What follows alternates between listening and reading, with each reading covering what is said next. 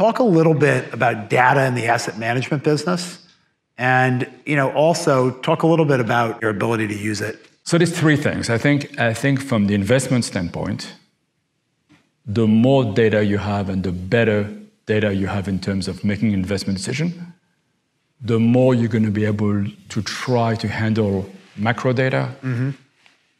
micro data, and be able to make investment decision. And one easy way to think about it is prepayment model in mortgages. Right. So we all used to estimate prepayment based on econometric model, right. rates go down, mortgage prepay, and so on and so forth. We now have loan by loan data on essentially 5 million mortgages in the US. Mm-hmm.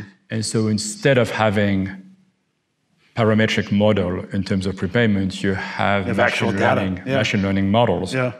Which update themselves incredibly fast in terms of what happened out there. Mm-hmm.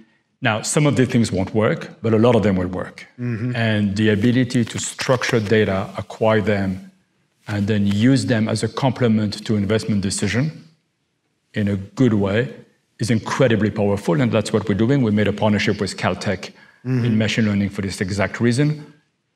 We're going to make other partnership with other university to try to work on other things, but it's really, it's really important. The second thing is data tells you about your competitors. Mm-hmm and about what you're good at and what you're not good at. And I think people don't spend enough time being introspective about what the edge is or not and what they're good at versus other people. And I think you need to be very clear on this. So that's the second use of data. And the third one is how you touch your clients. Yeah. And, and the same thing you have with yeah. many of your businesses. And, and it's you know, it's a real revolution in terms of what you can do, the digital solution for our private client, how we can touch people who bought a income suite of product and all these things. I would say when you look at a headcount, I would say a quarter of the people are in tech one way or the other. Mm-hmm. When you add consultant and full-time people. Mm-hmm. So it's, it's, it's a lot. And, and we're spending a very significant amount of, of money, just like you, yeah. on, on technology. Yeah.